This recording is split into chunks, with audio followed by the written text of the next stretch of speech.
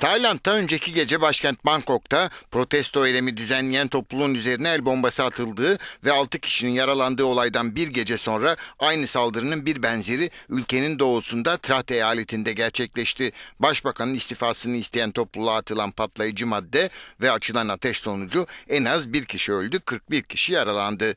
Öte yandan Tayland'da haftalardır süren ve Başbakan Shinawatran'ın istifasını isteyen protestoların bir tür iç savaşa dönüşmesinden korkuluyor. Son olarak Başbakan Shinawatra yanlısı diktatörlüğe karşı Birleşik Demokrasi Cephesi adlı örgütün ileri gelenleri hükümet karşıtlarına misilleme uyarısında bulundu. Söz konusu cephe saldırıları üstlenmemekle birlikte savrulan tehditlerle saldırı arasında ilişki olabileceği düşünülüyor.